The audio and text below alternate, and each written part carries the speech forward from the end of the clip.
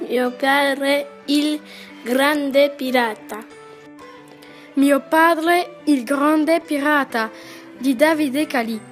Mio padre adorava di mare perché era un pirata. Un gran pirata. Apriva una grande mappa che odorava di polvere. E mi mostrava tutti i posti dove era stato. Con mio padre c'era una ciurma e io conoscevo il nome di tutti. Figaro, il turco, libeccio e salsiccia. Mio padre portava sempre un regalo per me. Ogni anno, quando mio padre tornava, mi addormentavo la sera, ascoltando le storie dei suoi pirati. La sua nave si chiamava Speranza, Speranza di tornare a casa. Avevo nove anni e mio padre quell'estate non tornò. Una mattina arrivò un telegramma. Pensavo di fare un viaggio in nave e invece eravamo in treno.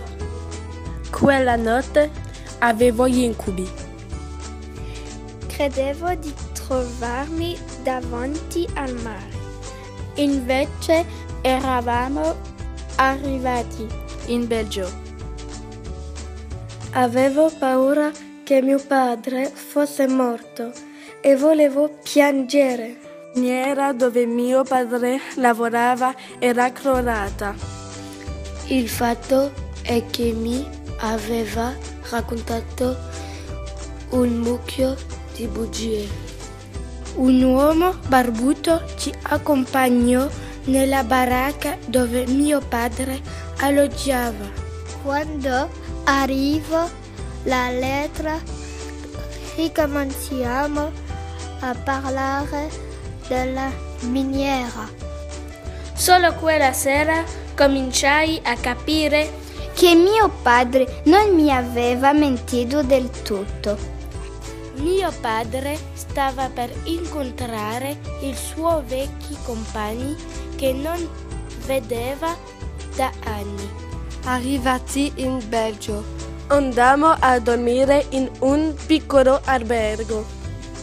Una ragazza ci accompagnò nella baracca dove mio padre aveva dormito. Sul muro c'era scritto Speranza. E io non capivo se piangevano per gli altri o per se stessi che gli avevano lasciato la giovinezza.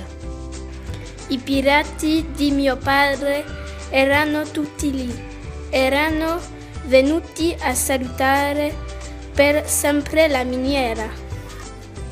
Mi arrampicai in cima a un traliccio appesi la bandiera e incrociai gli occhi di mio padre, il grande pirata.